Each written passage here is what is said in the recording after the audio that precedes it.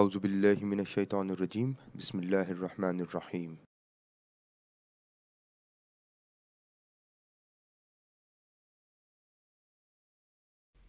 The next step in robustness checks is assessing the endogeneity. Now we want to assess whether there are issues of endogeneity in our model or not. Now to do so, we are going to use a Gaussian copula.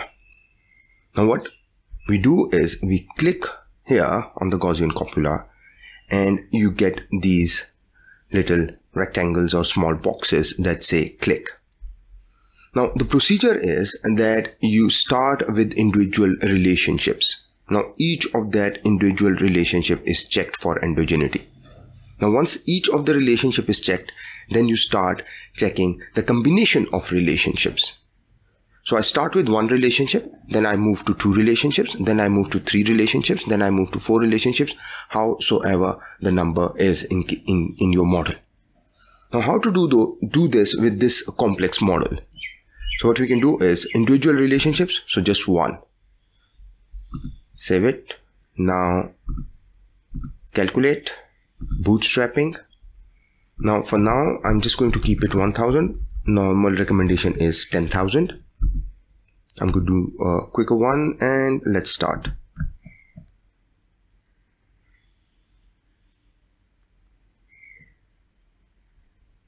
Now in this case, let's go to path coefficients and this is insignificant. What you need to do is you need to copy this row into Excel. So here I do not need these. Delete. And here it is. Now gc com arrow tl what does it mean? This is your exogenous variable. Tl is your endogenous variable and this is the gaussian copula. Now next i'm going to remove this one and i'm going to add it to the other relationship. Let's say this one. And now i'm going to run it again bootstrapping. And you can do one-tailed if you want. Let's say start because I know the possible direction of relationship so it's better to use one-tailed. Now again go to path coefficients. And this one is significant. So you've got endogeneity issues here. Now how to solve them? And that is part of another video. We are going to discuss it later.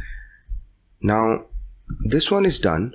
Now you're going to remove this. Obviously you will copy the results from the output into excel so that you can have a final picture as to what are the problems or where are the problems. Now when you do single ones the next step is to do a combination. So let's say this with this. So now we are doing two copulas or two relationships are assessed for endogeneity. Again run it calculate bootstrapping. Now go to path coefficients. So here the same old relationship with problems and this one is no or has no problems. Go back. Now you've done this one with this one. Now again what you're going to do is delete this one and now Gaussian copula.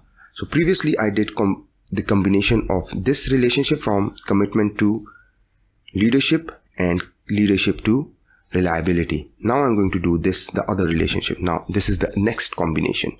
Now similarly, you're going to do this with every other possible relationship. Now once you are done with two relationships or the combination of two relationships, then you are going to move to combination of three relationships. And similarly, you are going to move to combination of four relationships. So all possible relationships are assessed for endogeneity. And once you do that, you will have something like this in a table. And this is the paper. I'll share the link as well. Structural model robustness checks in PLS SEM.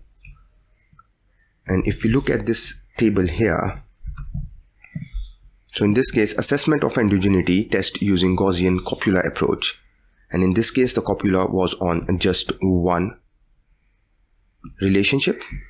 Again one relationship again one relationship. Now once they were done with single relationships they had it for two relationships. Now once they were done with two relationships now here they are done with two relationships. Next they had it for three relationships. And where is the model? Here is the model that they applied the endogeneity tests on.